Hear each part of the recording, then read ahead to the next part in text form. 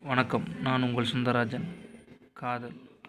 தூங்கும் நேரத்தில் தூங்காமல் தூங்குவது போல் தூக்கம் தொலைத்தவளை நினைத்து தூங்குவது. அதுதான் காதல். நன்றி வணக்கம்.